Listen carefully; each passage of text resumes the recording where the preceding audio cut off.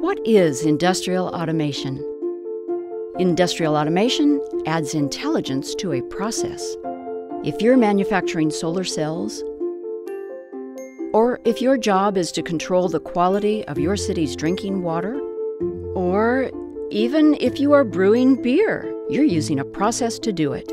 Of course, you can make great beer by hand, but if you want to make a lot of beer or produce beer of the same quality time after time, you'll probably need to automate the process. Suppose you have a large tank of water you draw from. You could have a person fill up the tank when it gets too low, but a person might get distracted and forget to turn the water off.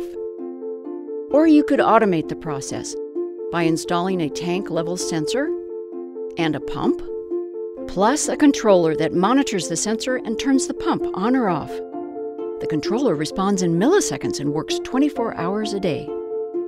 Automation is great when you need to do something a human can't, like lift heavy things, or work in extreme temperatures, or monitor a huge bank of sensors without rest. At Opto22, we make automation hardware and software to help industries around the globe produce and deliver many of the products we use today, from t shirts to smartphones.